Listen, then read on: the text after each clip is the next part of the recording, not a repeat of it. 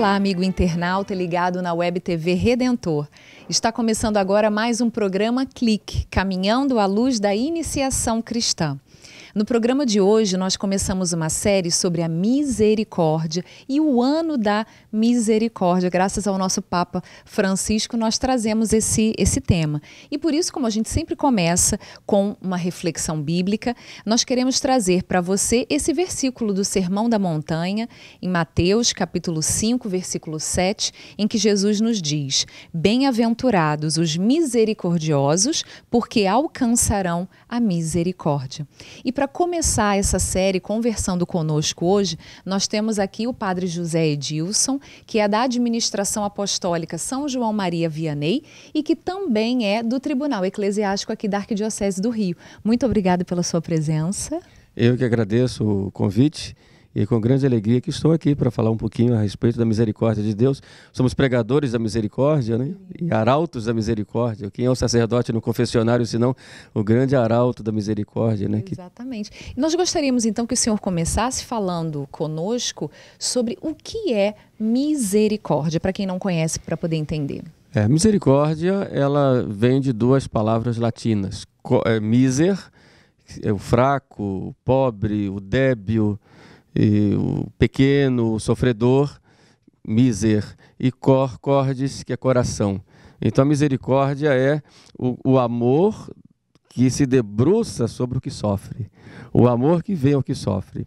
E como um sinal muito bonito da misericórdia de Deus é a parábola do bom samaritano, que é, é, o bom samaritano na realidade é o próprio Jesus Cristo que desce do céu, vem a nós, sai do seu trono e se debruça sobre, sobre os pobres filhos de Adão, sofredores, que estão caídos, que estão precisando de auxílio, e todos os pecadores. Então, miser, miser miséria, sofrimento e corcordes, coração. E por que o Papa Francisco é, decretou esse ano santo, o ano da misericórdia? Qual, que, que objetivo ele tinha e, na prática, o que, que significa para a gente esse ano santo da misericórdia? É, o Papa, na, na bula que, que anuncia o ano da misericórdia, ele cita o, o São João 23 na abertura do concílio. Diz que a igreja, naquela época e hoje continua, quer ser a mãe amorosa que vai expressar a misericórdia do Pai no mundo, sobretudo para os filhos que estão separados, para os filhos que estão distantes.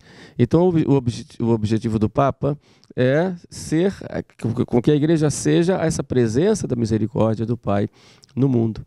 E é claro que a igreja, não só como igreja, como instituição, mas a igreja como cada um de nós, como corpo místico, parte do corpo místico de Cristo. E quais são as vias da misericórdia? Como se faz a misericórdia? É, a primeira coisa para fazer a misericórdia é configurar-se a Jesus Cristo, né? Que é a misericórdia do Pai presente no nosso meio, né? O próprio Cristo diz: Sede misericordiosos como vosso Pai Celeste é misericordioso. É um verdadeiro mandato para nós, né? Você acabou de ler.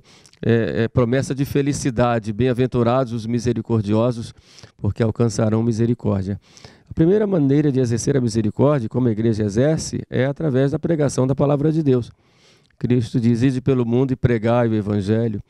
E a Sagrada Escritura nos indica que a, a, palavra de Deus é lâmpada para os nossos pés, luz, luz para os nossos, nossos caminhos. Quer dizer, a misericórdia começa com a pregação. Quando a igreja anuncia o Evangelho, anuncia que Cristo é o Salvador, anuncia que Deus nos ama, que nós somos especiais para Deus, que somos imagens e semelhanças de Deus, somos filhos e Deus nos criou para vivermos em comunhão com Ele. Quando nós encontramos esse Cristo, aí a igreja então promove aí a grande misericórdia do Pai. Então esse é o primeiro ponto através do qual a gente vê a misericórdia de Deus. E além desse, qual mais o senhor pode citar para a gente? Eu cito o perdão. Eu falei agora há pouco a respeito da confissão. Não existe maior misericórdia do Pai quando, quando um pecador se volta para Deus e, e Deus diz: Eu te perdoo, eu te absolvo dos seus pecados.